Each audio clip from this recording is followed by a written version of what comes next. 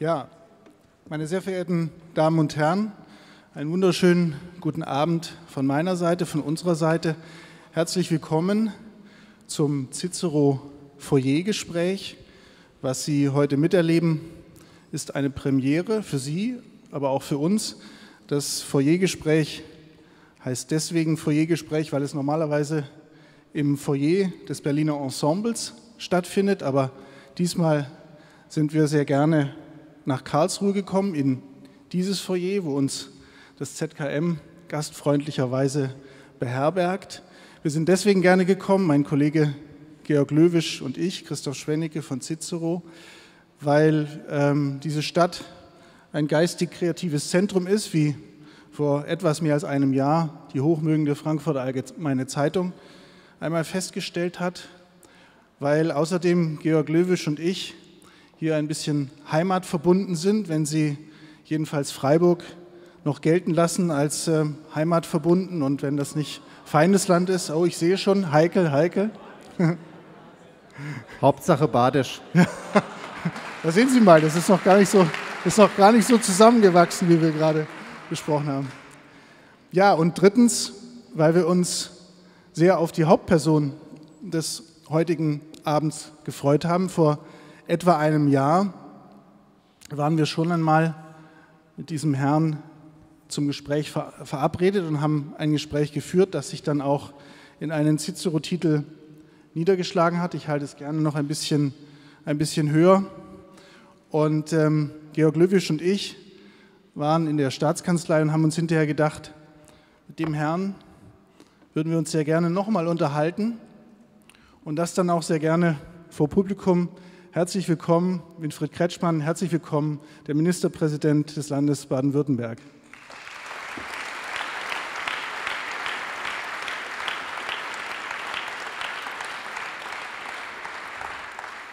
Herr Kretschmann, es wäre jetzt so, wie wenn ich Eulen nach Athen trage, wenn, Sie, wenn ich Sie großartig hier vorstelle. Alle, alle äh, Menschen kennen Sie hier.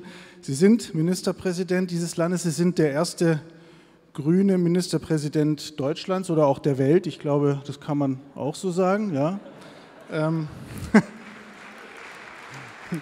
Sie sind Mitbegründer der Grünen in Baden-Württemberg, waren einige Jahre Grundsatzreferent und damit sage ich auch Mastermind äh, von Joschka Fischer zu seiner Hessenzeit. Sie sind aber nicht zuletzt auch der Lieblingsgrüne der Bundeskanzlerin.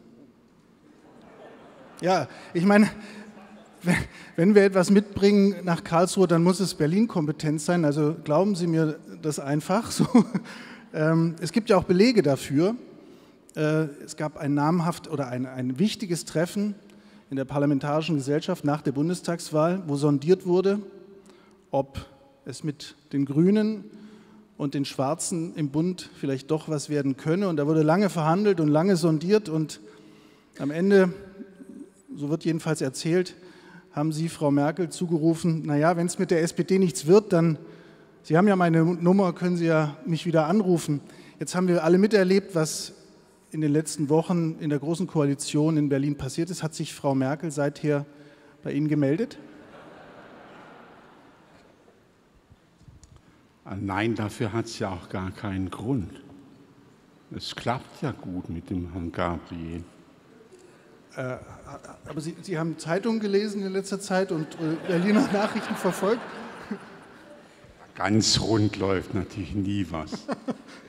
ja, also, äh, ich meine, äh, wir haben Koalitionäre in Berlin erlebt, die übereinander gesprochen haben, als seien sie Regierung und Opposition in einem, da sind Vertrauensbrüche von Fraktionsvorsitzenden äh, jetzt zu verzeichnen. Ich weiß nicht, ist, wäre das in Ihrer Koalition normal, was, Sie da in, was da in Berlin in den letzten Wochen auch an Schuldzuweisungen, immerhin ein Minister, der zurücktreten musste, ein Fraktionsvorsitzender, den jedenfalls Horst Seehofer gerne hätte zurücktreten sehen auf Seiten der SPD. Ist das normales Politikgeschäft? So geht es bei Ihnen auch zu in der Koalition?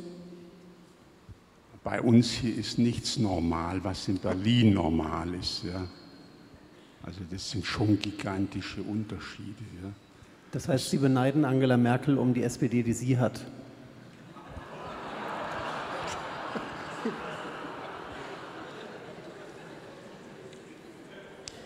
Wir sind ein Land, wir sind nicht die Bundesrepublik. Ja. Wir haben andere Themen und äh, wir haben auch andere Journalisten. Jetzt weiß ich nicht ganz genau, ob das ein Kompliment oder ein Vorwurf sein soll. Vor allem haben wir nicht so viele. Ja. Und da rennen jetzt bei uns nicht 100 unbeschäftigte Journalisten rum, wo jeder die nur ein Ziel hat, den radikalsten Satz des Tages von jemand zu fischen äh, und den zu skandalisieren. Ja. Ist hier einfach nicht so und das bedauere ich nicht.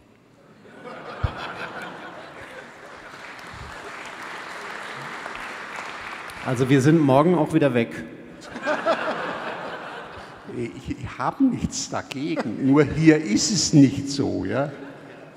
Und äh, mich hat's, das ist einer der Gründe, warum es mich jetzt noch nie nach früher Bonn oder jetzt Berlin gezogen hat. Ja? Das äh, muss einem liegen. Ja? War das denn auch der Grund, dass Sie in dieses Vakuum, was es bei den Grünen nach diesem für die Grünen ja schrecklichen Wahlergebnis bei der Bundestagswahl gegeben hat, nicht hinein sind und gesagt, hat, gesagt haben, ich wäre doch vielleicht doch der Ideale, jetzt die Grünen in eine neue Zeit zu führen. Sie haben diese Rolle ja nicht wahrgenommen, konnten Sie nicht, wollten Sie nicht oder war dieser Berlin-Abstandsreflex da ausschlaggebend? Es war nie meine Absicht, äh, Bundespolitiker zu werden. Ich mache jetzt Bundespolitik als Ministerpräsident über den Bundesrat und auch sonst wie. Das äh, mache ich auch gerne, ist auch sehr wichtig. Aber das war eine Entscheidung von mir, dass ich nicht Bundespolitiker werde. Die war sehr bewusst und die bereue ich keinen Tag. Ja? Und ich habe da Aufgaben wahrgenommen, da gab es äh, auch Kontroversen in meiner Partei, aber ich hatte jetzt nicht die Absicht, nach Berlin zu gehen. Ich glaube, das wäre nicht mein Metier. Das haben, das, da muss man Leute angucken wie den Beck. Das war wirklich, glaube ich, ein hervorragender Ministerpräsident, aber das war einfach nicht sein Spielfeld. In Berlin und das weiß ich, das wäre meines auch nicht und darum zieht es mich da nicht hin. Man muss einfach wissen, wo man hingehört im Leben und ich weiß das. Und ich bin wirklich gern Ministerpräsident von äh, Baden-Württemberg und davor war ich auch immer schon ein überzeugter Landespolitiker. Und das ist einfach die Ebene, die mir zusagt. Und darum muss ich jetzt nicht Berlin, da rennen doch genug andere rum. Ja. Hat sich da, hat sich da möglicherweise parteiübergreifend etwas geändert? Sie haben Kurt Beck angeführt, der hat es am Ende dann doch getan, tatsächlich nicht zu seinem politischen Vorteil. Es gibt andere äh, Landespolitiker, David McAllister war auch so jemand oder ist so jemand, der immer gesagt hat, ich gehöre nach Niedersachsen. Früher, also ganz so alt bin ich auch noch nicht, aber ich rede jetzt mal von früher, war es immer so, dass, dass die Länder auch quasi dazu da waren, Karrieresprungbrett zu sein für die Bundespolitik. Ist da was anderes geworden? Kann auch sein. Dagegen ist im Einzelfall auch gar nichts zu sagen. Es ist ja auch nicht schlecht, wenn man auf der Landesebene Erfahrung sammelt, sagen wir Ministerpräsident war und dann Bundesminister wird. Es ist nichts dagegen zu sagen. Es muss einem liegen und das muss man wollen. Da gibt es jetzt keine Gesetze irgendwelcher Art. Aber es ist andererseits so, dass ich denke, dass wir heute die Länder jedenfalls unsere Aufgabe sehr selbstbewusst wahrnehmen äh, und auch jenseits äh, der, Parteizugehörigkeiten. Ich glaube, solche unterschiedlichen Zuständigkeiten, das ist etwas ganz Wichtiges. Und man muss einfach mal sehen, dass die Landespolitik der Bundespolitik nicht untergeordnet ist, auch wenn das manche denken. Es ist nicht der Fall. Wir haben andere Aufgaben, die nehmen wir selbstständig wahr. Andere sind gemischt, in anderen führen wir die Bundesgesetze aus. Nicht, da bricht dann natürlich auf der Ebene Bundesrecht, Landesrecht. Und das ist ein wohlgeordnetes, föderales Gemeinwesen. Ja? Und wir sind keine Provinzen äh, der, des Bundes, wir sind eigenständige Länder, wir haben Verfassungen, können sogar Staatsverträge äh, abschließen. Auch wenn wir jetzt keine autochtone Zuständigkeit für die Außenpolitik haben, das ist auch nicht schlimm, bedauere ich jetzt auch nicht. Also das muss man sehen, da ist ein bisschen was äh, falsch geortet bei vielen. Ja, es, wir sind ein subsidiäres Gemeinwesen und wir sind nicht kein dezentrales wie jetzt in Frankreich. Das ist was völlig anderes und äh, das sollten wir mal schmackhaft finden und nicht irgendwie blöd.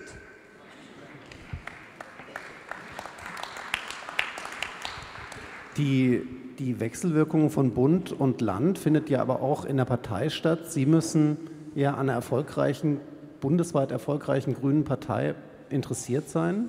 Sie sind ja auch immerhin Mitglied.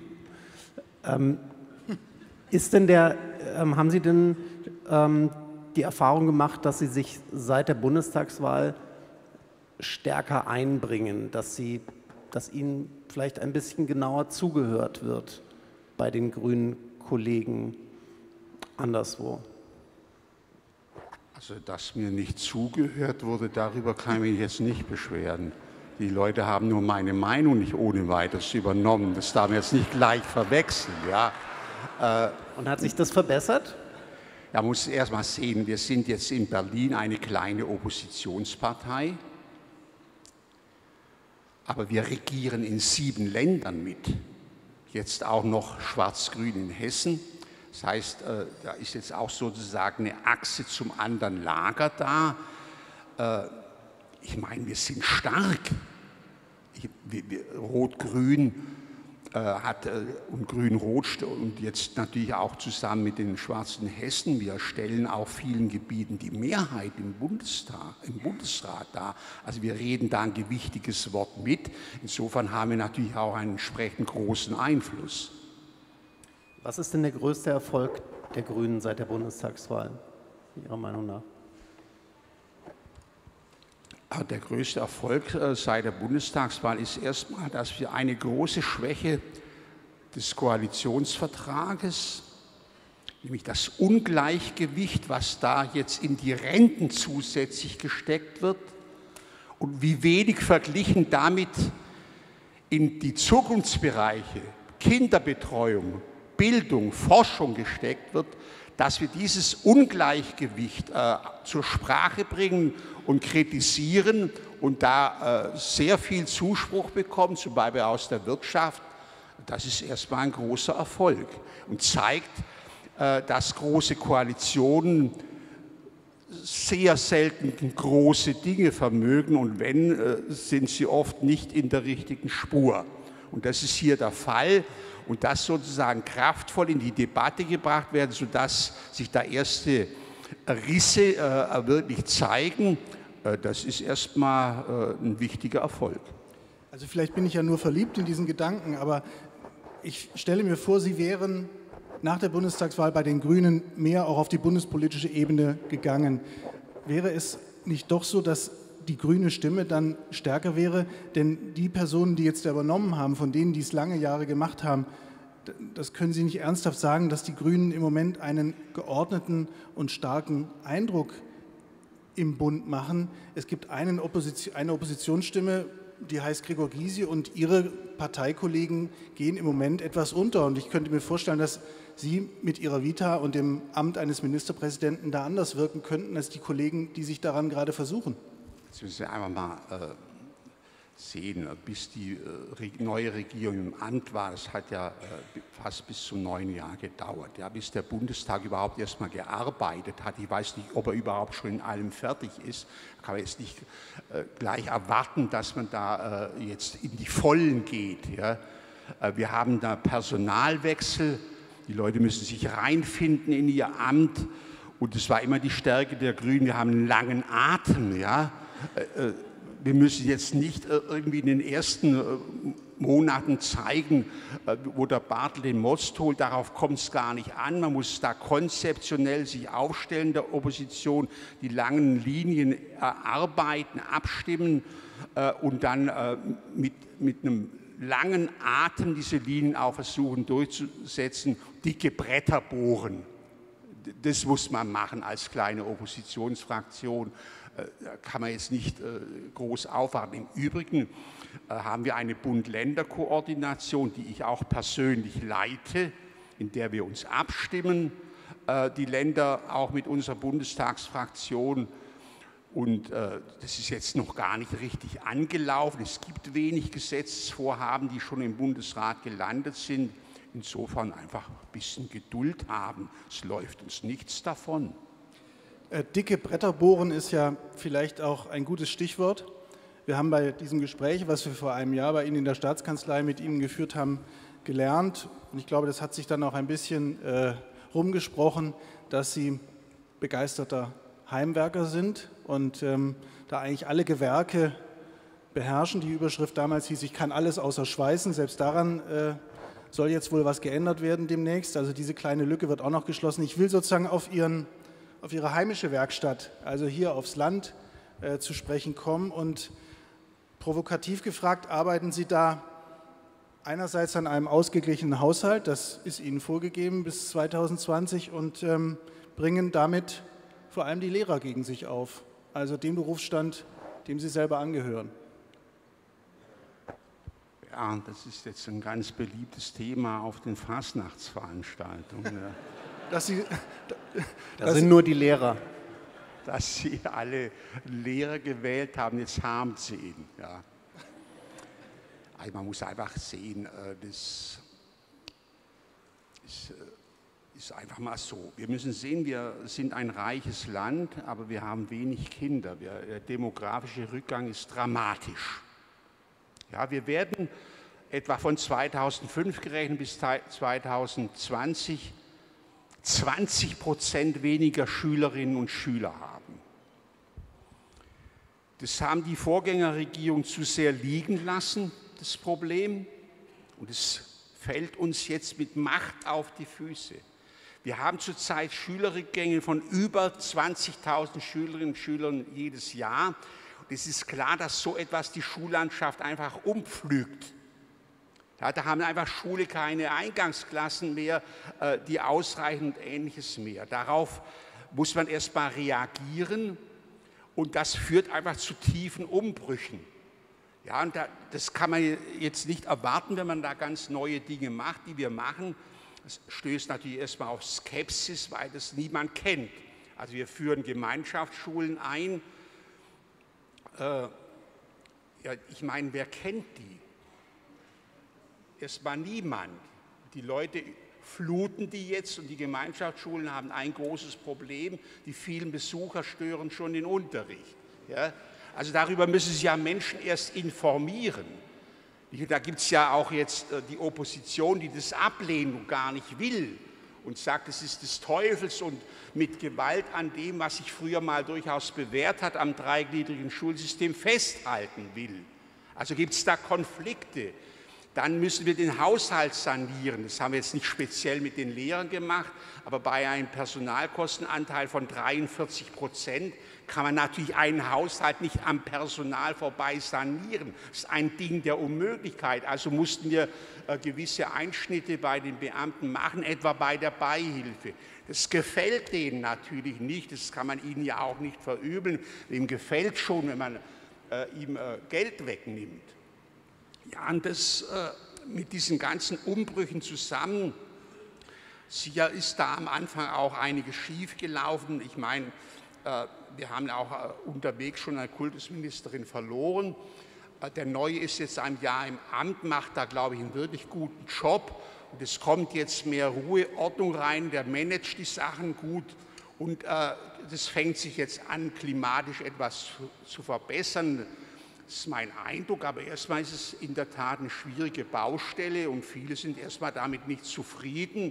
Im Gegensatz zur Gesamtpolitik, wo wir gute Noten bekommen, sind sie mit der Bildungspolitik nicht zufrieden. Dazu kommt, äh, wir haben dann beschlossen, dass wir auch Lehrerstellen einsparen. Aber die zweite Wahrheit dazu, dass wir einen Schülerrückgang von 20 Prozent haben, aber nur 10 Prozent der künftigen Lehrerstellen in diesem Zeitraum einsparen, den wissen die meisten Menschen erstmal gar nicht. Ja? Aber das ist ja nun dramatisch und da kann man ja ernsthaft nicht von Sparen reden. Wir haben mit Abstand das beste Lehrer-Schüler-Verhältnis aller Länder. Also das sind Dinge, äh, die müssen wir besser kommunizieren. Das tun wir jetzt auch und es gelingt Schritt um Schritt. Wir haben vieles gemacht. Beispiel 1000 Sozialarbeiter eingestellt. Ja, ich meine, das dauert halt mal ein Schuljahr, bis man merkt, dass sich jetzt was ändert.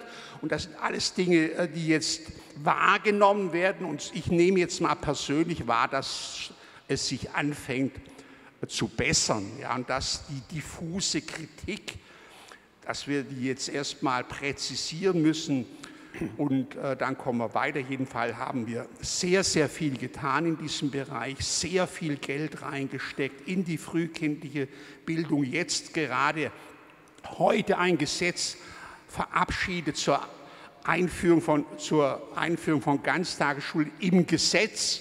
Ist nie gemacht worden. Äh, damit ist Verbindlichkeit mit den Kommunen da und so weiter. Also ich meine, das geht halt nun mal nicht so schnell und so glatt. Da ist nichts dran zu machen bei so dramatischen Außenbildungen. Man merkt, da ist, man merkt, da ist Emotionalität drin. Ähm, aber Stichwort gute Kommunikation. Also ich habe gelesen vom, äh, von einem Landtagsabgeordneten Klaus Schmiedl, ich glaube, der gehört der SPD an, koaliert mit Ihnen, ähm, dass es viel mehr Schüler im System gibt als die Statistik sagt, und dann habe ich noch gelesen von einem anderen SPD-Politiker, der heißt Stefan Fulst-Blei, Bildungsexperte, ich sehe zum jetzigen Zeitpunkt keinen Spielraum für die Streichung auch nur einer Lehrerstelle, zumindest wenn wir unsere Reformagenda umsetzen wollen. Das heißt, der Mann sagt, wir haben so viel vor, Gemeinschaftsschule, Ganztagsschule, Integration von Behinderten. Ja, das können wir leider nicht streichen. Was, was ist denn jetzt nun die, Haltung der äh, grün-roten Koalition? Die Haltung der Koalition ist erstmal, gute Unterrichtsversorgung geht vor. Ja, geht vor. Würden alle immer unterschreiben. Ja, es ist aber so, machen wir auch. Der Unterrichtsausfall an den Berufsschulen ist in zweieinhalb Jahren schlichtweg halbiert worden und der war chronisch hoch. Also ich meine, es passiert wirklich was. Es ist nicht nur irgendein Geschwalle.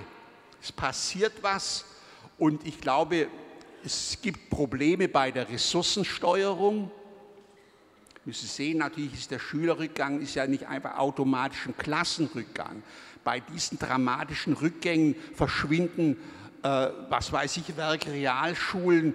Lehrer müssen ja erst mal gucken, wohin sie die bekommen. Das sind alles Dinge, die nicht so schnell äh, gehen. Da ist die Ressourcensteuerung ist nun wirklich ein Thema für sich. Das läuft. Das bedeutet, dass die Lehrer dort sind, wo sie gebraucht werden? Ja, dass werden. die Ressourcen dorthin kommen, wo oh. sie gebraucht werden. Äh, auch da wundere ich mich, wie die Vorgängerregierung das haben schleifen lassen mit dieser Ressourcensteuerung. Und der, der ne, zu wenig hat, dem nützt nichts, wenn, wenn in der Nachbarschaft zu viele Lehrer an der Schule sind. Das zu steuern ist eine große Aufgabe und äh, dass jetzt irgendwie die Bildungspolitiker das erstmal ansagen, ah, das überrascht nun nicht. Dazu gibt es aber auch noch einen Finanzminister und Ministerpräsidenten. Wir müssen eben das beides machen. Wir müssen den Haushalt konsolidieren, wir müssen aber auch äh, einen Bildungsaufbruch machen und äh, das kriegen wir schon hin. Ja, das regt Sie nicht auf, dass die dazwischen quatschen, die Koalitionspartner. Ja Nein, äh, wir, wir müssen von diesen Quantitätsdebatten mal rein in Qualitätsdebatten. Der Zusammenhang zwischen Klassengröße und Bildungserfolg ist erstmal wissenschaftlich gar nicht erwiesen.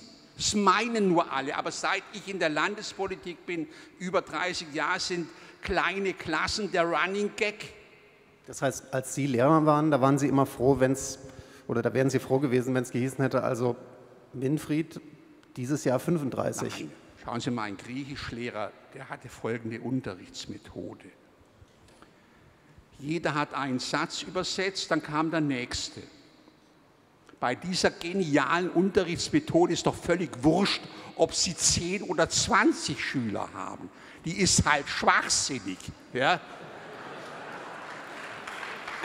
Und wenn man wirklich Bildungserfolg will, muss man ein bisschen, schon ein bisschen was anderes machen. Anders unterrichten, gut unterrichten, das tut man. An den Gemeinschaftsschulen findet individuelle Förderung statt. Ich habe jetzt wirklich einige dieser Schulen angeschaut. Es hat natürlich mit der Art, wie ich gelernt habe als Schüler und wie ich gelehrt habe als Lehrer, nicht mehr so viel zu tun. Da hat sich also wirklich was getan und darauf kommt es an. Wir reformieren die Lehrerausbildung, tun vieles, dass sich an der Qualität etwas tut. Baden-Württemberg ist nicht dadurch stark geworden, dass wir immer mehr vom Gleichen gemacht haben, sondern dass wir innovativ sind, dass wir was Neues machen, dass wir die Dinge besser machen. Darauf kommt es an und nicht immer nur auf Zahlen zu starren.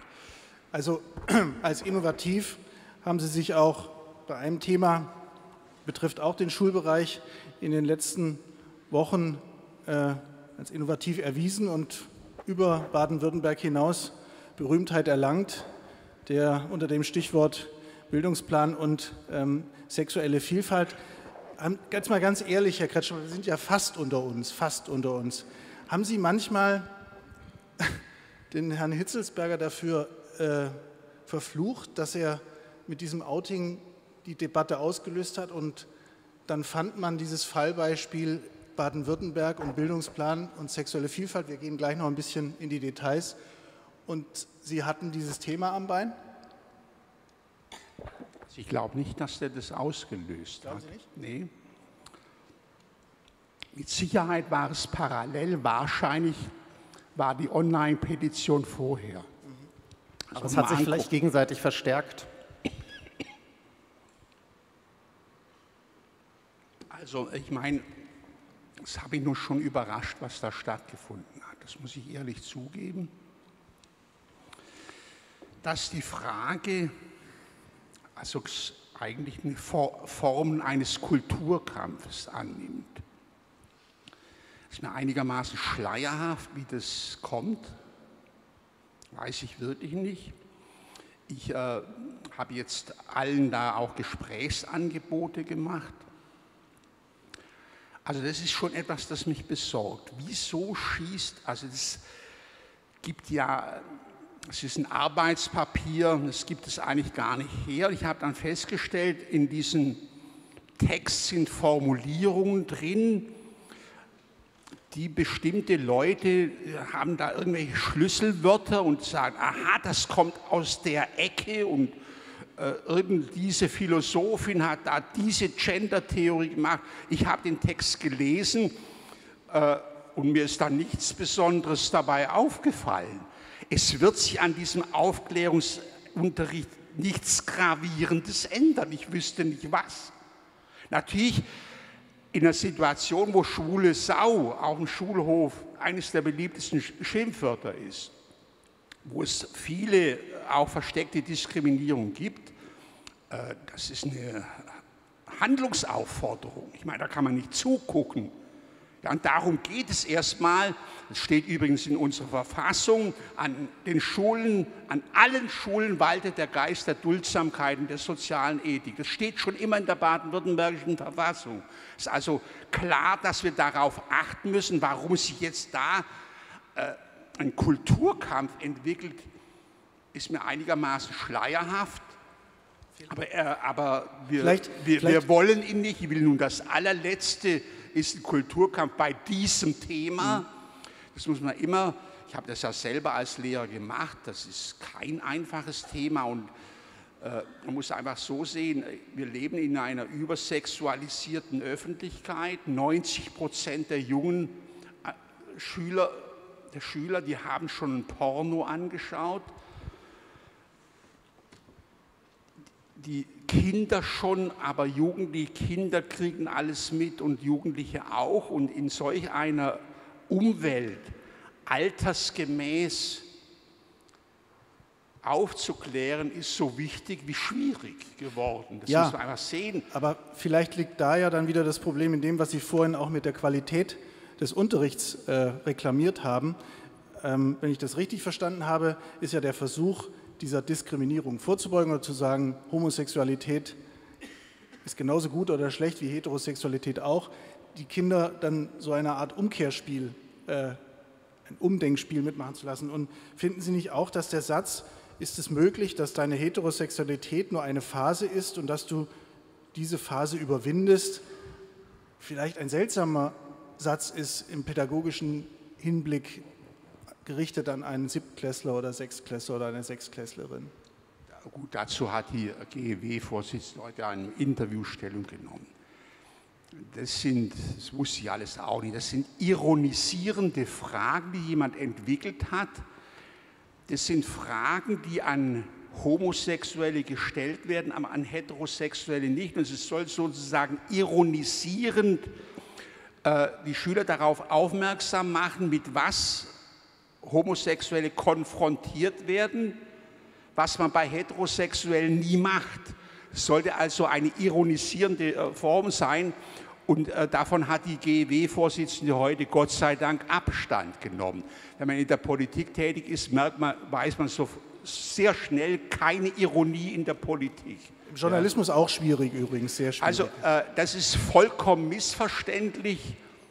Aber sind Sie denn sicher, dass die GW-Vorsitzende diesen... Nochmal, das gibt es seit 19 Jahren. Ja. Wieso hat sich darüber 19 Jahre nie jemand beschwert und auf einmal schlägt das mit solch einer Wucht auf? Ich denke, da, ich sehe das bei vielen Debatten. Ob das ein Nationalpark ist, ob man Musikhochschulen reformieren äh, will, sofort schießen die Debatten durch die Decke. Ja? Es ist irgendwie etwas, was mich einfach Aber vielleicht, besorgt. Vielleicht muss es ja auch sein, Herr Kretschmann. Meinen Sie denn, die GEW-Vorsitzende hätte diesen Passus, hätte diese Fragevorschläge zurückgenommen, wenn diese kritische Debatte über diese Vorschläge nicht stattgefunden hätte? Die, also die Mutmaßung ist doch zulässig, dass sich Leute darüber aufgeregt haben, dazu geführt hat, dass, diese, dass dieser Leitfaden, dass diese Leitfragen nochmal überdacht werden, beziehungsweise jetzt rausgenommen werden. Sonst hätte das garantiert nicht stattgefunden. Oder glauben Sie, dass sie aus heiterem Himmel gesagt hat, das steht zwar 19 Jahre, aber jetzt nehme ich es mal raus? Selbstverständlich, ich meine, wir reagieren immer auf solche gesellschaftlichen Debatten, das ist ja auch richtig. Aber ich meine, man darf einfach mal, muss mal wieder die Dinge vom Kopf auf die Beine stellen. Was heißt denn Aufklärung? Ausgang des Menschen aus seiner selbstverschuldeten Unmündigkeit, hat Immanuel Kant gesagt. Aufklärung und bezogen auf den Unterricht heißt Selbstdenken, den anderen denken, sich übereinstimmend denken. So hat er Kant es formuliert. Darum geht es, dass wir Kinder schauen, dass sie selber Urteilskraft bekommen, dass sie selber einen Standpunkt entwickeln und die Standpunkt, entwickelten Standpunkte anderer tolerieren. Das ist Aufgabe einer Schule in einer liberalen Gesellschaft und nicht einfach den Kindern zu erzählen, was sie zu glauben haben. So, diese Pluralität ist Grundlage der Gesellschaft und der Politik, ist Grundlage des Menschseins. Und unsere Verfassungsordnung hat diese Pluralität zur Grundlage und zeigt zugleich die Grenzen der Pluralität auf. Das heißt, Pluralität findet auch in unserer Verfassungsordnung statt, die gibt die Werte an, die wir verbindlich sind. Und innerhalb dieser Werte muss seine persönliche Lebensführung jeder selber bestimmen und sein Verhältnis zur Sexualität auch. Und es ist eine große Errungenschaft der Moderne, dass wir nicht in die persönliche Lebensführung von Menschen eingreifen. Eine große Errungenschaft der Moderne. Und dahinter wollen wir bitte nicht mehr zurückfallen. Und solange die Leute das auf dem Boden der Verfassungsordnung machen und anderen dabei nicht auf die Füße treten oder sie verletzen, geht das den Staat nichts an, was die Leute in den Betten treiben. Sie haben gesagt, Sie, Sie wundern sich manchmal über die Debatten, auch wie die dann so schnell groß werden. Müssen Sie sich nicht eigentlich freuen, dass Sie, also dass Ihre Positionen dadurch klar werden? Also dies, ähm, die, die, Aufregung um die äh, äh, Lehrerstellen macht doch klar, Winfried Kretschmann meint es mit dem ausgeglichenen Haushalt ernst. Ähm, die Frage um äh, sexuelle Vielfalt am Unterricht, da wird auch klar, Winfried Kretschmann ist klar für Toleranz. Ähm, oder fürchten Sie, dass mh, hm, Sie dann nicht ganz so kompatibel sind für ähm, Leute, die auch mal CDU gewählt haben? Darum geht es nicht. Schauen Sie in der Online-Petition, die haben ja immerhin 200.000 Leute unterschrieben, unter anderem auch ich merkwürdigerweise. Ja? Also das zeigt auch ein Problem dieser Online-Petition. Aber, aber nur einmal. Ja, aber ich meine, das kann mir einfach einer drunter setzen. Ja? In dieser Petition steht, wir wollen die Schüler moralisch und pädagogisch umerziehen. Ich meine, man muss mal sehen, das sind Vorwürfe, die uns in die Nähe totalitärer Systeme und Regime rücken. Ich meine, das geht einfach zu weit. Das geht einfach nicht. Und der Vorteil der Demokratie ist, wir haben ein Grundgesetz, das ist ein Grundkonsens, das ist unsere Verfassungsordnung. Und wenn wir diesen Grundkonsens pflegen, dann können wir uns in tagespolitischen Fragen durchaus streiten wie die Kesselflicker. Das macht überhaupt nichts aus, weil zivilisierter Streit hält die Gesellschaft zusammen, aber unzivilisierter Streit treibt sie auseinander. Und wir müssen ja immer fragen, was sind die Ligaturen, was sind die Bindekräfte einer modernen Gesellschaft. Mein Vorgänger Erwin Teufel hat mal einen großen Kongress gemacht, was hält die moderne Gesellschaft zusammen. Meiner Ansicht nach hält sie zum Beispiel zivilisierter Streit zusammen. Aber wenn die Debatten unzivilisiert werden oder sogar gewalttätig, dann kippt es in das Gegenteil. Das haben wir in Europa, das können wir überall anschauen, wie populistische Bewegungen an Boden gewinnen, wie ein Operettenfürst wie der Berlusconi sein Land ewig und drei Tage regiert wie in der Schweiz eine, die Mehrheit des Volkes eine Abstimmung äh, in die Verfassung reinträgt, die außer der SVP alle für höchst problematisch halten. Also das zeigt an, dass wir da auch besorgt sein müssen, was sich abspielt. Und deswegen äh, ist es mir persönlich auch ein großes Anliegen, Streit ist das Salz in der Suppe der Demokratie, aber wie wir ihn führen, sehr, sehr wichtig. Sie haben, ja, Sie haben ja eigene. Wenn, ich, ich sag, muss es jetzt schon noch loswerden. Ja. Wenn mich in solch einem Klima, der Vor, wenn, wenn, wenn der Vorsitzende der größten Oppositionsfraktion in solch einem Klima uns Gesinnungsterrorismus vorwirft, dann gießt er noch Öl in, in das Feuer äh, von Debatten, äh, die wir begrenzen sollten und uns sozusagen auf den Kern sachlicher Streits immer wieder zurückführen sollten. Also da läuft ein bisschen was aus dem Ruder. Der Unterschied oder den Unterschied zwischen zivilisiertem Streit und nicht zivilisiertem Streit, beziehungsweise dann sogar ins gewalttätige übergehende Streit, haben Sie in Stuttgart miterlebt, am Kampf um Stuttgart 21. Sie mussten auch miterleben, dass Sie den Bürgerwillen exekutieren müssen, der nicht ihr Wille war im Zusammenhang mit diesem Bahnhof. Was uns gewundert hat, als wir uns eingelesen haben für unser Gespräch, ist, dass jedenfalls nach unserer Lektüre Sie, die Grünen, auch die SPD, sich vor ihrer Regierungszeit sehr stark gemacht haben für mehr direkte Demokratie, Bürgerentscheid, Bürgerbegehren.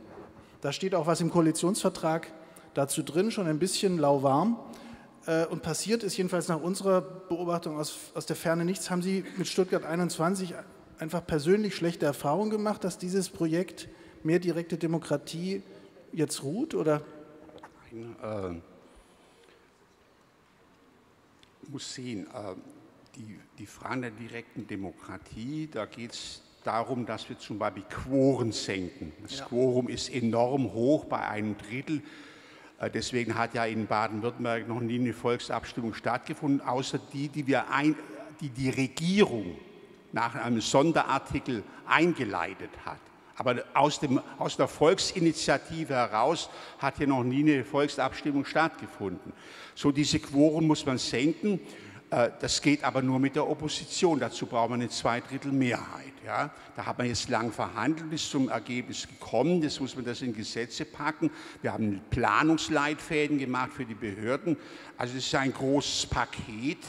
Äh, das ist jetzt im Großen und Ganzen fertig und muss jetzt in äh, Gesetze umgegossen werden. Das wird einige Monate dauern. Also das ist nicht so, sondern das wird bis zum Sommer fertig sein. Und was ist die Verbesserung, die konkrete?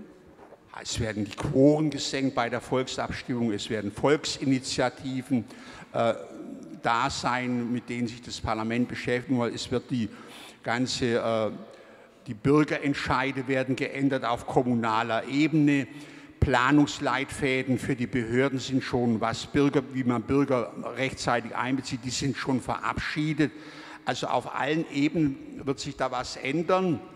Wir müssen aber immer entscheiden, es ist einerseits mehr direkte Demokratie, wobei sie ja nur, äh, wir wollen ja die, unser repräsentatives System nicht ersetzen, sondern ergänzen dadurch.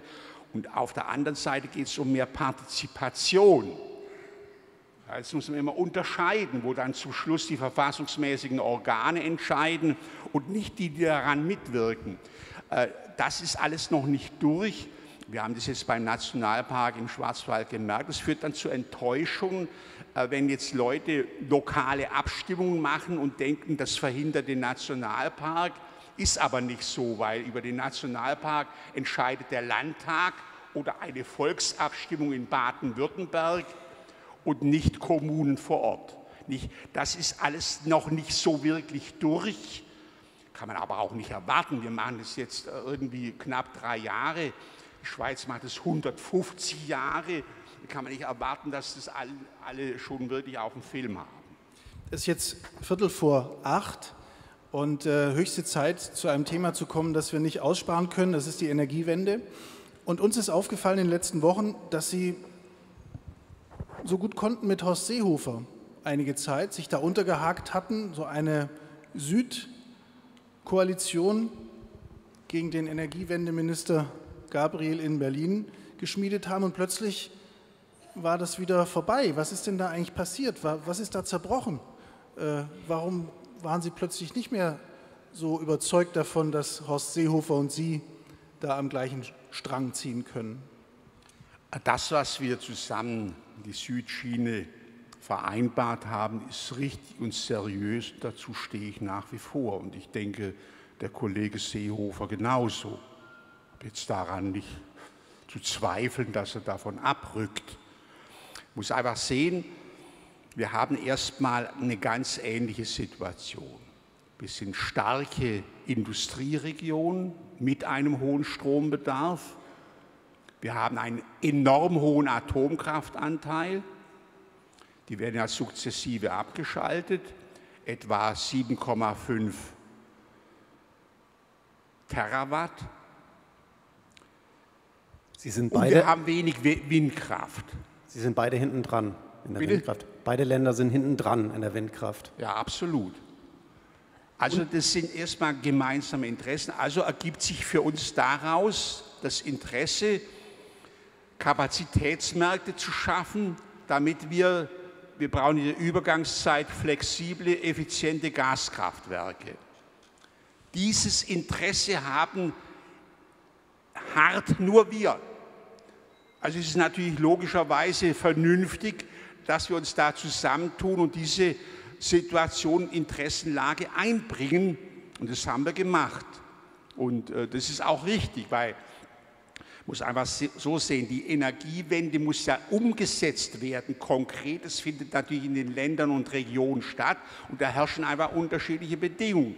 Der, die nördlichen äh, Länder haben viel Windstrom, bauen Offshore, wollen ihren Strom verkaufen, dazu braucht man Leitungen. Äh, wir haben etwas anders gelagerte Interessen, weil wir noch keinen Wind haben. Also sind wir sehr daran interessiert, dass Wind offshore nicht abgewürgt wird. Daneben gibt es auch gemeinsame Interessen aller, äh, dass äh, die Preise nicht durch die Decke schießen. Bei der Windkraft haben wir jetzt äh, vier Ministerpräsidenten Hessen, Schleswig-Holstein, Rheinland-Pfalz und wir eine Initiative gegenüber dem Bundeswirtschaftsminister gemacht und letztlich hat es zum Ziel, bis zum Sommer möglichst einen Konsens herzustellen in der Frage. Aber hat es nicht etwas Paradoxes, Herr Kretschmann? Sie sind Mitglied einer Partei, die quasi der Urquell der Energiewende ist. Dann gab es eine Bundeskanzlerin nach Fukushima, die sich zur Energiewende-Kanzlerin gemacht hat. Dann gibt es einen SPD-Wirtschafts- und Energieminister namens Sigmar Gabriel, der jetzt sagt, ich werde die Energiewende noch mal noch mal richtig zum Erfolg bringen. Und jetzt sind Sie, der grüne Ministerpräsident von Baden-Württemberg, in der Rolle des Bremsers, der sagt, halt, stopp, ganz so schnell könnt ihr das mit den Subventionen nicht verändern, weil wir dummerweise noch nicht so viele äh, Windmühlen in Baden-Württemberg äh, stehen haben. Oder habe ich da was falsch verstanden? Wir, wir bremsen gar nichts. Äh, andere bremsen. Äh, wir halten nichts von einem Deckel zur Windkraft. Wenn man mal aktuell sieht, was äh, Windkraft und Photovoltaik äh, zur Umsteigerung der Umlage beitragen, das ist minimal. Das sind Altdebatten. Die Steigerung der EEG-Umlage ist aus der Vergangenheit. Das ist alles im Kern in trockenen Tüchern. Die, die Kosten sind enorm runter und die Vergütungen auch bei der Photovoltaik so stark, dass Bosch ausgestiegen ist und 3,2 Milliarden quasi in den Sand gesetzt hat. Also davon kann keine Rede sein. Bei, bei der Photovoltaik sind das 0,0 noch was Prozent, beim Wind 0,1. Das heißt, der Großteil der Steigerung, die wir überhaupt noch haben, geht auf die falsche Konstruktion bei der, beim EEG bei der Leipziger Börse, nämlich wenn dort die Kosten sinken, steigt die Umlage. Das ist der Hauptteil. Es geht aber nach der Merit Order, nach Grenzkosten. Das führt natürlich dazu, dass es sich zurzeit gar nicht lohnt, Kraftwerke zu bauen. Also fordere ich mit anderen, dass wir Kapazitätsmechanismen brauchen. Wir brauchen also einen Markt, nicht nur für die elektrische Arbeit, den haben wir in Leipzig, allerdings funktioniert der nicht. Wir brauchen auch einen für die elektrische Leistung, sonst werden wir keine Kapazitäten gebaut, aber auch keine Speicher, auch kein Lastmanagement. Das lohnt sich alles nicht und das müssen wir jetzt irgendwie zusammenbringen und da bremsen wir überhaupt nicht. Klappt das denn bis Sommer, sich, dass sich Bund und Länder ja, da einigen? Da bin ich ganz sicher. Tut es denn, tut es denn der Sache, Sie haben ja die, Ihre ähm, Interessensüberschneidung mit dem Ministerpräsidenten von Bayern äh, skizziert, ähm, ist einleuchtend, aber gleichwohl wundert mich so ein Schulterschluss, weil hm, er ist ja doch, wie man an dieser Stromtrassen, also an diesem Stromtrassenausbau-Moratorium, was er jetzt ähm, haben will, kurz vor seinen Kommunalwahlen, hat man doch den Eindruck, das ist eher ein Energiewende-Populist. Also der haut auf der einen Seite auf der Energiewende rum ähm, und trampelt da so ein bisschen rum, weil er das jetzt gerade braucht oder weil das populär ist oder weil er Angst hat, dass die Kommunalwahlen verhagelt werden. Und auf der anderen Seite hätte er aber auch gerne diese ähm, ganzen Windanlagen. Äh, ist das der richtige Partner für Sie? Weil Sie meinen es doch ernst. Ich habe nur was Seriöses mit ihm verhandelt. Das mit den Netzen kam hinterher und ich war natürlich darüber nicht gerade amüsiert. Das können Sie sich ja vorstellen, aber ich kann es halt nicht ändern. Jeder hat sein eigenes Naturell. Um Duzen Sie sich schon eigentlich mit dem Horst? Ja. Also scheint es doch gut zu laufen. Es läuft ja auch gut, wenn wir was zusammen machen. Ich schaue die ganze Zeit fasziniert in Ihr Gesicht, aber auch auf diesen grünen Puschel. Ich bin so froh, dass ganz zufällig Sie den grünen Puschel bekommen. Alle anderen Farben bedeuten, bedeuten übrigens nichts. Sie wollen diesen grünen Puschel, ähm, jetzt ist es fünf vor acht, wir müssen sozusagen in die Endkurve kommen, weil danach möchten wir gerne Ihnen auch die Gelegenheit geben, noch Fragen zu stellen. Sie möchten diesen grünen Puschel am Mikrofon ähm, auch behalten. Das heißt, wir sind jetzt etwa zur Halbzeit äh, Ihrer Amtszeit angelangt. Und sie haben dieses Amt ja gewonnen in einer absoluten Ausnahmesituation. Fukushima war passiert und es war noch was Zweites im Schwange, äh, was ich jetzt mal Mappus Malus nenne. Also es waren zwei außerordentliche Umstände, die ihre 24,2 Prozent waren es, glaube ich, ähm, herbeigeführt haben. Jetzt merken Sie ja selbst, ähm, dass man sich beim Regieren nicht nur Freunde schafft, also ein bisschen Mappus Malus wären Sie vielleicht an sich selbst auch, nicht in der Dimension, aber bei, bei Lehrerseite, auf der Lehrerseite vielleicht ähm, äh, an sich selbst spüren. Wie wollen Sie denn dieses Wahlergebnis überhaupt wieder, wieder hinkriegen? Nochmal, es war eine absolute Ausnahmesituation. Die, die Bundesgrünen sind durch die Decke gegangen in den Meinungsumfragen. Sie waren ja, der Gewinner dieser Lage. Ich meine, das wird sich ja herausstellen, ob es so eine Ausnahmesituation wirklich war. Ich meine, wir haben immer noch hervorragende Umfrageergebnisse. Selbst die Mehrheit der CDU-Anhänger findet, dass wir gut regieren. Aber verwechseln Sie jetzt nicht Ihre persönlichen Werte mit denen Ihrer Partei?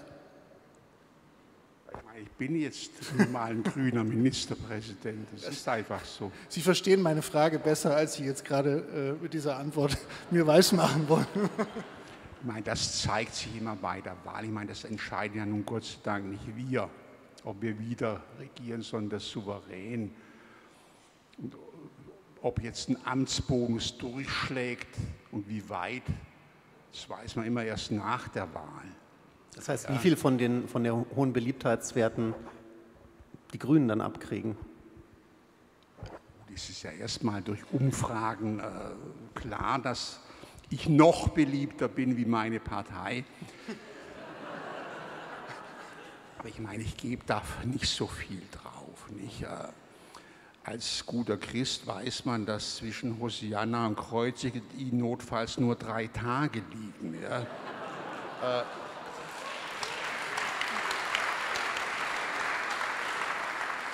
Also, ich meine, das ist ja jetzt noch lang dahin. Ich halte nichts davon, dass man immer irgendwie regiert unter der Maxime, dass man gleich weiter regiert. Man bekommt ein Mandat für eine Legislaturperiode und nicht für zwei. Und jetzt muss man erstmal gucken, dass man in der Legislaturperiode, für die man gewählt ist, einen guten Job macht und, das Land ordentlich regiert. Das versuchen wir und äh, ob die Leute uns das Mandat wiedergeben, dazu ist ja die nächste Wahl da. Ja? Und äh, sich da dauernd irgendwie äh, so durch die Gegend zu laufen, das mache ich nicht. Immerhin die, Ihre ähm, Mitbewerber von der CDU haben jetzt immerhin so langsam, fangen die an zu überlegen, wer könnte denn gegen den Winfried Kretschmann antreten.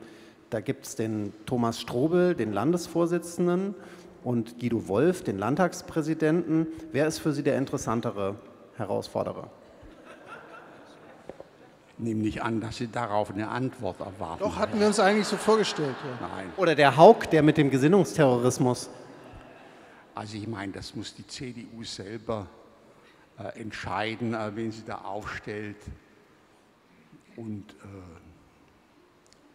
ich werde mich damit, wem, wer auch immer kommt, schon auf die richtige Weise auseinandersetzen. Also sagen wir so, Angst habe ich jedenfalls vor keinem.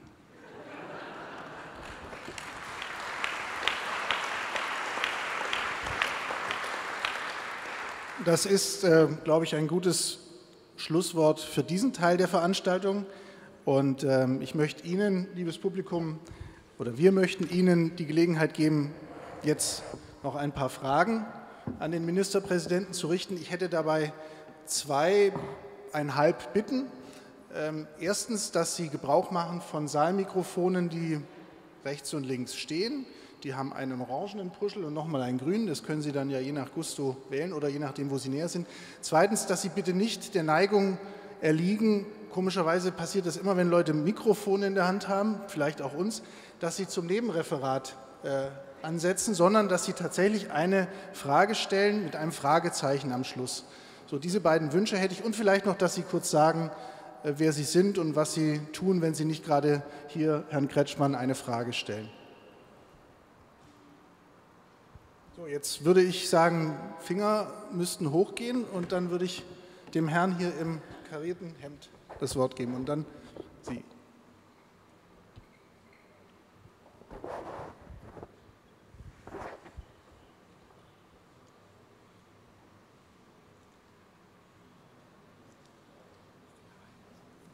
Name ist Leopold Hähnel. Ich stamme aus Baden-Württemberg und bin Ministerialbeamter des Bundes in Berlin und freue mich, dass wir also hier eine Symbiose von Berlin und äh, Baden-Württemberg vor uns haben. Aber der höflichen Worte genug. Ähm, Sie sagten vorhin, für so eine Sache wie eine Gesetzesänderung im Bereich der Bürgerbeteiligung, da braucht es ein paar Monate. Da möchte ich Ihnen völlig recht geben. Aber Sie sind jetzt 34 Monate bereits an der Regierung. Sie haben ähm, die Hälfte, die Halbzeit Ihrer Legislaturperiode überschritten. Und wir haben weder eine Änderung der Gemeindeordnung zur Verbesserung der Bürgerbeteiligung, wir haben immer noch nicht ein Informationsfreiheitsgesetz, das es auf Bundesebene gibt, auf europäischer Ebene und auf Ebene von elf Bundesländern. Und wir erleben einen Regierungsstil, den ich mal Government by Laissez-faire bezeichnen möchte. Sie aus, der, aus meiner Perspektive investieren Sie sehr viel Arbeit und Energie in Vorzeigeprojekte wie den Nationalpark Nordschwarzwald, während in den Tälern des Schwarzwaldes monströse Logistikzentren mit Lkw-Anbindung gebaut werden, Bahngleise werden zurückgebaut. Und jetzt wollte ich Sie fragen, liegt es daran, liegt es vielleicht daran, dass die harten Aufgaben in Ihrer Koalitionsvereinbarung und auch in Ihrem politischen Lebensgefühl eine geringere Rolle spielen als ähm, die Vorzeigeprojekte der grünen Art wie der Nationalpark Nordschwarzwald. Bin jetzt einigermaßen überrascht über Ihre Stellungnahme.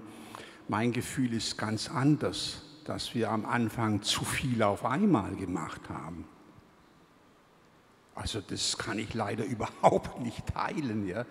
Äh, wir haben das sehr, sehr flott und engagiert angegangen auf allen Gebieten. Aber die ganze Frage der Bürgerbeteiligung, das habe ich ja vorher gesagt, das müssen wir mit der Opposition zusammen verhandeln. Die hat natürlich, kann man ja nicht verübeln, hätte ich an deren Stelle auch gemacht, Pakete geschnürt. Und die sind schwierig zu verhandeln. Das dauert einfach langwierig. Äh, das ist ganz einfach. Äh, daran kann ich nichts ändern zumal ich äh, nicht mitverhandelt habe. Aber auch dann wäre es wahrscheinlich schneller gegangen. Also Sie müssen sehen, äh, alle Vorhaben, die so komplex sind, wo Pakete geschnürt wurden vom Landtagswahlrecht über Bürgerbeteiligung in den Kommunen bis zur Landesverfassung, das ist einfach ein zäher Prozess, wo viel Fingerhakel stattfindet, bis man sich da zusammengerauft hat. Es dauert einfach. Und äh, es ist auch besser, man macht das äh, fundiert und seriös. Es muss ja halten. Also insofern äh, muss ich da einfach um Geduld bitten. Ja, äh, es ist einfach nicht schneller gegangen. Und äh, wir haben auf jedem Gebiet der Politik wichtige Änderungen gemacht. Und der Nationalpark ist unserer Ansicht nach kein Vorzeigeprojekt. Es ist ein wichtiges Mosaik in einer Naturschutzstrategie. Und auch das haben wir sehr, sehr sorgfältig äh, diskutiert mit einem langen Gutachten, das, an dem die Bürger mitbeteiligt werden. Sie müssen das so sehen, äh, Ihnen sind vielleicht andere Dinge wichtiger, das ist auch in Ordnung. Aber uns ist das schon sehr wichtig und äh, was für Sie ein Vorzeigeprojekt ist, ist für uns substanzieller, wichtiger Bestandteil der Naturschutzpolitik. So, jetzt darf ich den Herrn zu seiner Frage bitten und dann gerne auch zu weiteren Fingerzeigen ermuntern. Danke. Ja. Mein Name ist Wolfgang Österle-Imberi. Ich arbeite als IKT-Dozent, äh, früher einfach EDV und äh, ich arbeite im bundesrepublikanischen Ausland und gebe dort Bildungsurlaubsseminare. Und dazu genau meine Frage. Der DGB hat jetzt äh, in seiner letzten äh, Kongress äh, eine Kampagne verabschiedet zum Bildungsurlaub. Das steht schon seit zwei Jahren in den Koalitionsverhandlungen. Und meine Frage einfach, wann wird sich die Regierung damit beschäftigen?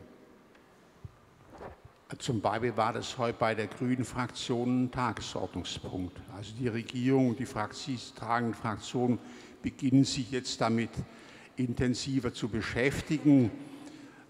Es wird sicher eine ganz schwierige Materie. Ähm, also äh, fangen gerade damit an. Und ich glaube, das äh, Ministerium für Wirtschaft und Finanzen ist dafür zuständig und äh, wird dazu, glaube ich, im April erste Eckpunkte wohl vorlegen. Jetzt habe ich zwei Wortmeldungen hier. Eine Dame mit blonden Haaren, die ganz nah am äh, Mikrofon sitzt und die war einige Sekunden vor der Dame, die auch schon ein Mikrofon hat. Das ist jetzt also die Reihenfolge. Bitte schön. Abend, sehr geehrter Ministerpräsident. Mein Name ist Katharina Zaludek und ähm, wir wenden uns heute mit einem offenen Brief im Namen von Autismus Karlsruhe an Sie. Sehr geehrter Herr Kretschmann, Menschen mit Autismus und ihre gesetzlichen Vertreter haben große entschuldigen Angst. Sie, entschuldigen Sie, aber ich möchte nicht, dass Sie hier eine lange Petition verlesen. Die können wir das so machen, dass Sie Herrn Kretschmann diese dann mitgeben, aber ich möchte nicht gerne haben, dass jetzt minutenlang äh, offene Briefe verlesen werden. Bitte haben Sie Verständnis dafür. Okay, danke schön. So, dann die Dame, die schon, die schon ein Mikrofon hat und da sitzt bzw. jetzt steht. Ich nicht an.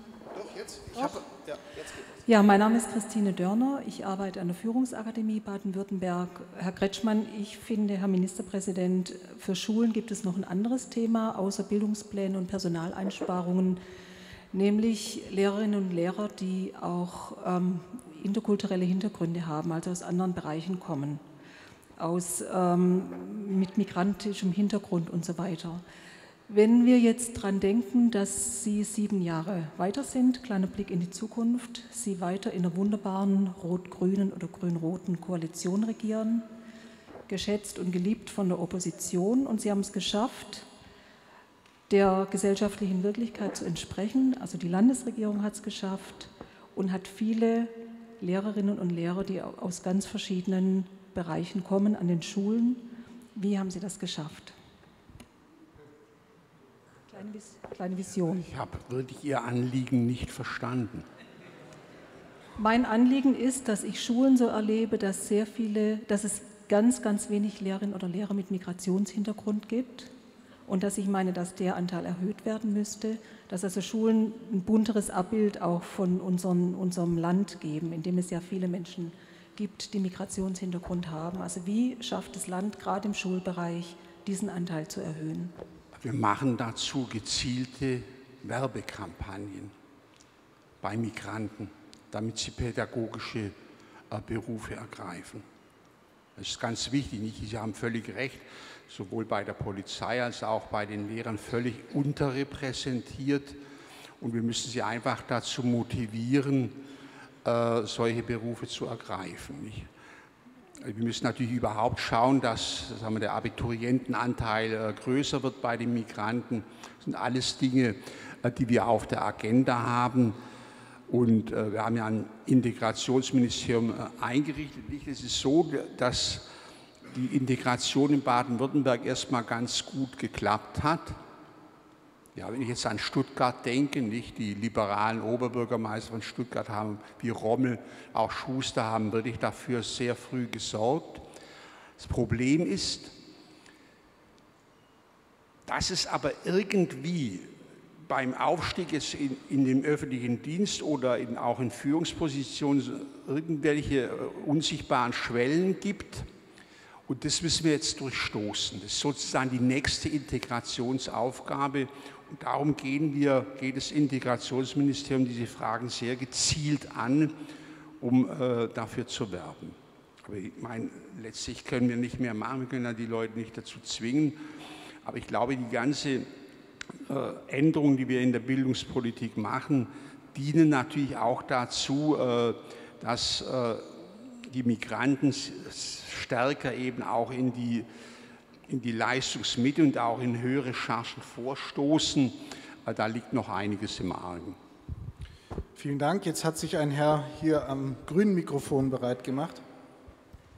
Ja, ähm, mein Name ist Jochen Petin. Ich bin der äh, Vorstandsvorsitzende der Bausparkasse Badenia hier in Karlsruhe.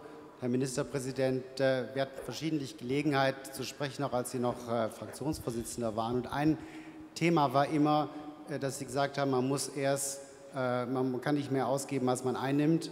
Das heißt, wir müssen die Schulden abbauen, wir müssen sparsam sein. Das war auch ein Punkt, den Sie eingangs sehr stark betont haben. Und die Frage ist an Sie, ähm, welche Erfahrungen haben Sie und haben Sie Erfahrungen gemacht, wie man diesem wichtigen Ziel was ja wahnsinnig schwer in der Politik durchzusetzen ist, wie sie dem Ziel stärker noch Nachachtung verschaffen können. Also die äh, Koalition hat sich entschlossen, in einem stetigen Pfad bis 2020 äh, einen strukturell ausgeglichenen Haushalt zu bekommen. Das heißt, ein Haushalt, der so ausgeglichen ist, dass er auch jenseits von Konjunkturschwankungen stabil ist und äh, dass, wenn nicht ganz äh, besondere Dinge passieren, äh, wir die Schuldenbremse einhalten können. Das kann man vernünftigerweise unserer Ansicht nur machen im Dreieck konsolidieren, investieren und sanieren. Und das versuchen wir. Also wir unterliegen ja etwa in der Bildungspolitik schon der Kritik äh, mit, dass äh, jetzt Lehrerstellen in Zukunft auch wegfallen. Wir könnten da natürlich mehr machen, so wie es der Rechnungshof vorgeschlagen hat, machen wir aber nicht. Warum? Wenn wir zu wenig in Bildung äh, investieren, untergraben wir die Quellen des Reichtums der Zukunft. Also wäre das nicht vernünftig. Zweite, wir haben auch verdeckte Schulden. Ja, zum Beispiel das Vermögen äh, des Landes auch Verschleiß zu fahren. Wenn ich das mache, dann kann ich zwar gute Zahlen vorweisen, aber ich ruiniere das Landesvermögen. Das macht aber keinen Sinn. Das ist bei Landesstraßen, bei Hochschulen, beim Hochwasserschutz, Krankenhäuser. Überall haben wir riesige Sanierungsstaus und die bauen wir zugleich ab. Das ist ein zweiter Grund, warum wir einfach nicht härter sparen. Ja?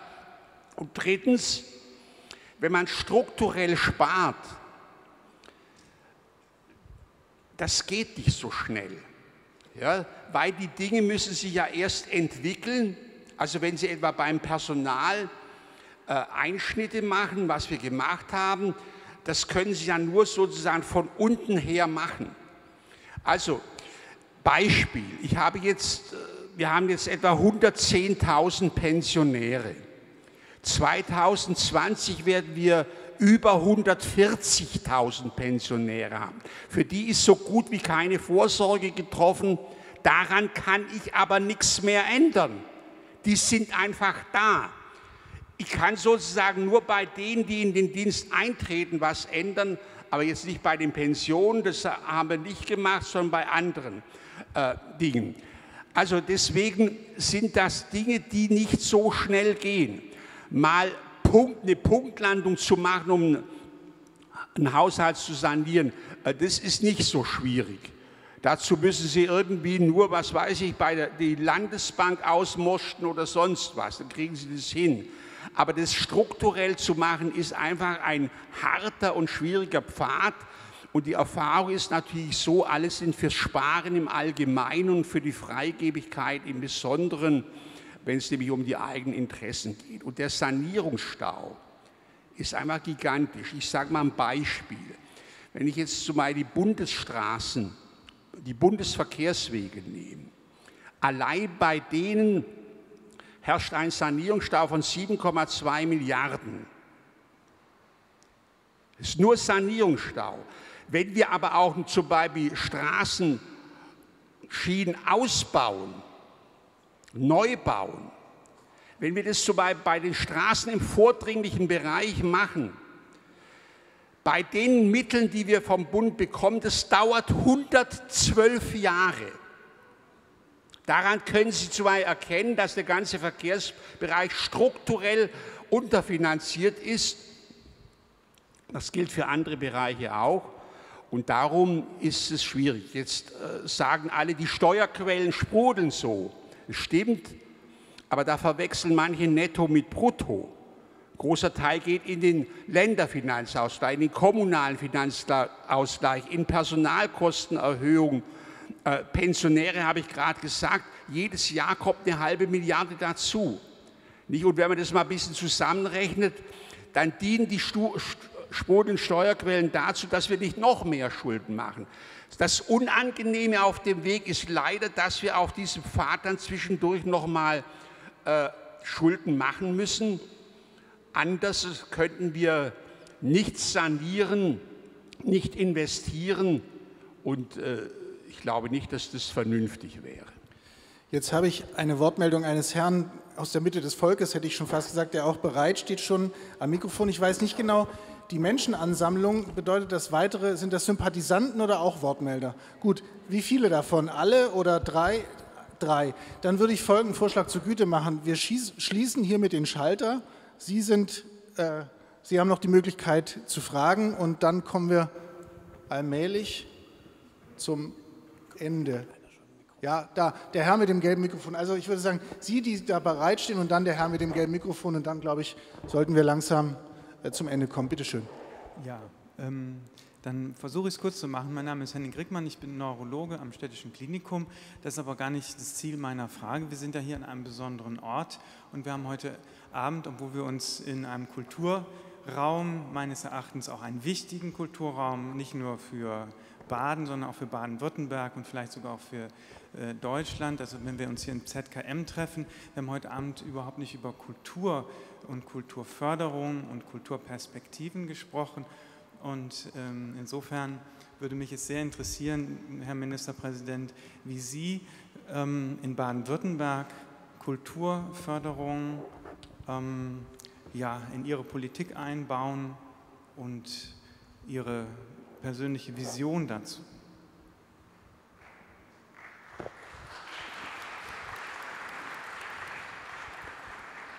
Also sagen wir so, äh, zu Kunst und Kultur äh, sollte nicht der Staat Vision entwickeln, sondern die Künstler, die Kulturschaffenden.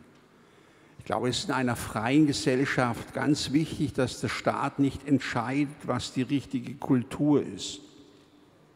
Er stellt nur Mittel dazu zur Verfügung. Gute Tradition und an der wollen wir festhalten. Also insofern äh, müssen wir einfach darauf gucken, dass sozusagen alle Sparten der Kultur lebendig bleiben und gefördert werden in dem Rahmen, in dem wir das können. Äh, aber wenn ich jetzt an die Debatte um die Musikhochschulen denke, da haben wir uns schon mal mordsmäßig die Finger verbrannt. Nicht? Und das ist das, was ich sage, dass die Debatten durch die Decke schießen. Der Rechnungshof hat gesagt, ihr müsst da einsparen, wir bilden zu viel äh, aus. Äh, dem sind wir gefolgt, haben dann die fünf Musikhochschulen den Profilkonzept gemacht, aber nach einer Woche hieß es, Grün-Rot zerstört die baden-württembergische Musiklandschaft. Äh, sodass ich irgendwann da wirklich zurückrudern musste, äh, weil das nicht mehr richtig einzufangen war, obwohl es eigentlich nur ein Vorschlag war, und noch gar keine Entscheidung. Das sind aber die Menschen auch nicht gewohnt, dass jetzt mal eine Ministerin nur einen Vorschlag macht und nicht schon alles entschieden ist. Und jetzt gerät die Debatte alle, allmählich wieder in Fahrwasser, wo man einigermaßen vernünftig darüber debattieren will. Und das sind schwierige Diskurse, die wir jetzt dazu mal mit den Musikhochschulen und den äh, allen Beteiligten führen. Und dann hofft man, dass man da irgendwie zum Schluss einigermaßen Konsens erzielt. So geht es. Also so müssen Sie sich das vorstellen. Also das, die Prärogative in Kunst und Kultur haben immer die, die in diesem Bereich arbeiten und nicht der Staat. Ja? Der muss darauf reagieren und die Mittel zur Verfügung stellen, gucken, dass wir auch äh, eine Stärke dieses Landes jetzt nicht nur in wenigen Städten Hochkultur haben, sondern dass überall in allen Räumen des Landes gute Kultur äh, zu finden ist. Das sind schon Dinge, auf die wir achten müssen. Aber im Konzeptionellen immer mit großer Zurückhaltung. So, ein Vorschlag zum Verfahren. Jetzt die Dame, dann der Herr mit dem gelben Mikrofon und dann nochmal dieses Mikrofon. Und bitte versuchen Sie sich kurz zu fassen, im Sinne aller, die hier sitzen. Wird mir bestimmt auch schwerfallen. Guten Abend, äh, Herr Kretschmann. Mein Name ist Rosemarie Zelch. Ich bin Mutter einer 24-jährigen behinderten Tochter. Ich bin hier stellvertretender Vorstand des Behindertenbeirates der Stadt Karlsruhe. Das ist einmalig in Karlsruhe und schon, schon seit über zehn Jahren. Und äh, ich war in ihrer Vorgängerregierung im sogenannten Expertenrat, einfach als betroffene Mutter über die Landesarbeitsgemeinschaft Gemeinsam Leben lernen. Wir saßen an dem Schulgesetz, das Inklusion da drin vorkommt, mit einem Wahlrecht für Eltern. Ich war mit Frau Professor Merzer-Talik die einzigen zwei, die dieses Veto dazu hatten. Und in der neuen Regierung wurden wir nicht mehr dazu eingeladen. Und ich denke, es wäre wichtig, denn es passiert sehr viel in Bildung und mit Schulen. Und es tun mir wirklich auch die Lehrer leid, die alles übergestülpt bekommen. Schaut mal, wie er das alles macht. Ich denke, jeder hat ein Recht auf Bildung, der Schwächere, auch der, der ganz stark oben ist. Beide können sich gemeinsam helfen. Dazu benötigen wir motivierte Lehrer, keine ausgepowerten Lehrer und die fehlen in diesem Land. Und ich würde mich freuen, wieder gerne ehrenamtlich, wie ich es schon immer mache, mitzuarbeiten. Vielleicht schaffen Sie es, mich wieder an diesen runden Tisch zu bekommen. Ich bin auch sehr oft mit Herrn Weimer im Gespräch. Vielen das war Dank. jetzt mehr ein persönliches Angebot als eine Frage, die bei Herrn Kretschmann, glaube ich, angekommen ist. Vielleicht können wir dann das gelbe Mikrofon äh, zum Einsatz bringen außer Sie wollen direkt darauf reagieren, aber eine Frage in dem Sinne, es war ein Angebot.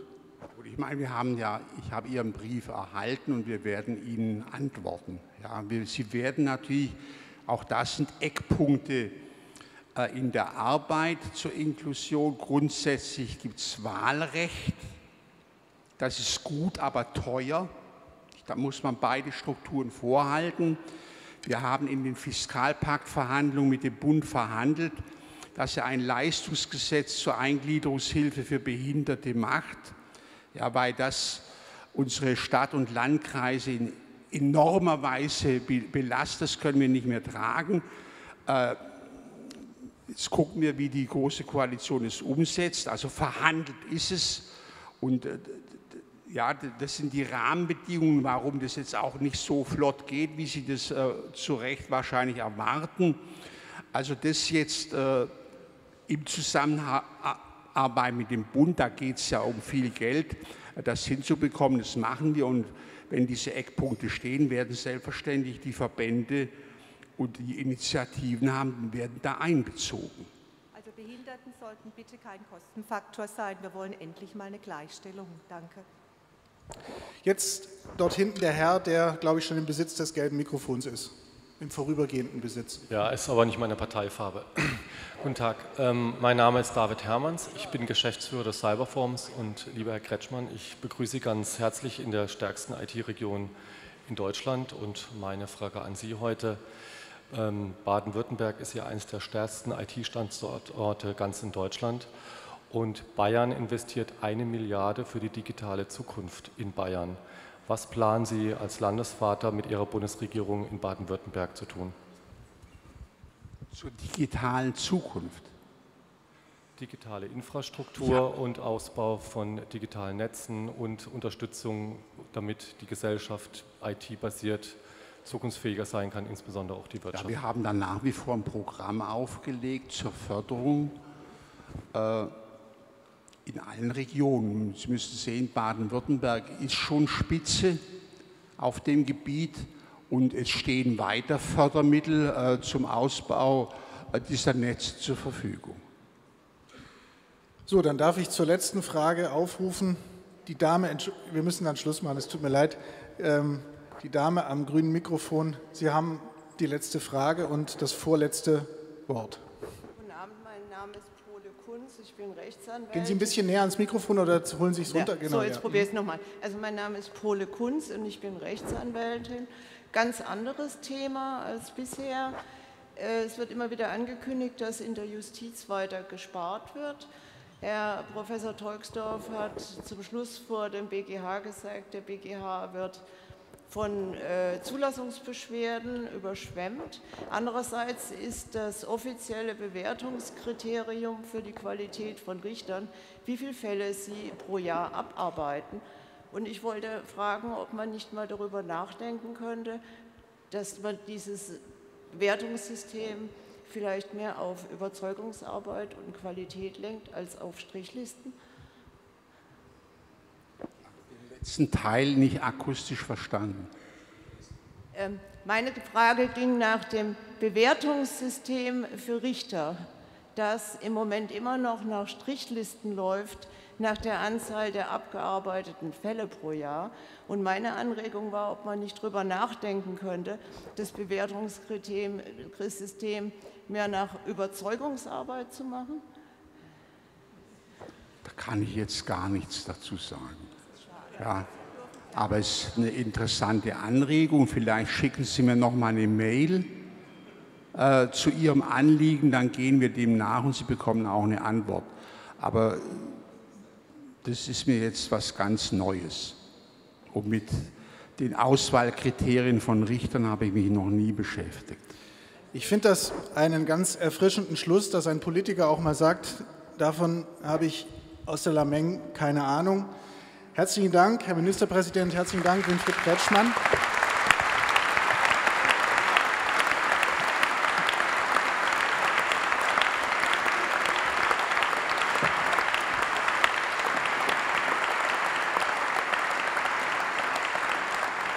Und unser Dank geht natürlich auch an Sie, an das Publikum, dass Sie gekommen sind, ausgeharrt haben, zugehört haben, Fragen gestellt haben.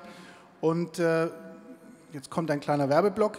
Da draußen an dem Tisch, wenn Sie rausgehen, rechts, äh, da liegen ein paar Magazine, also genau zwei. Einmal unseres, das ist die neue Ausgabe des Cicero. Es ist heiße Ware, die ist noch nicht mal am Kiosk, aber schon hier bei Ihnen in Karlsruhe. Nehmen Sie sich mit, Jetzt hätte ich fast gesagt, so viel Sie tragen können, aber bitte nicht. Nein, also jeder eins. Dabei liegt auch noch eine Sonderausgabe unserer, unseres Schwestermagazins aus dem Ringier Verlag, das äh, Monopol heißt, ein Kunstmagazin ist und sich hier mit der Messe Karlsruhe äh, beschäftigt. Und ähm, ja, wenn es Ihnen Spaß gemacht hat, dann freut es uns sehr und dann empfehlen Sie uns weiter. Ich wünsche Ihnen noch einen wunderschönen Abend. Alles Gute, auf Wiedersehen.